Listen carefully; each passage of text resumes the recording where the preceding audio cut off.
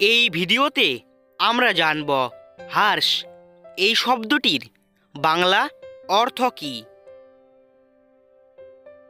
Hertz এই শব্দটির বাংলা অর্থ হবে কঠোর বা মন্দ।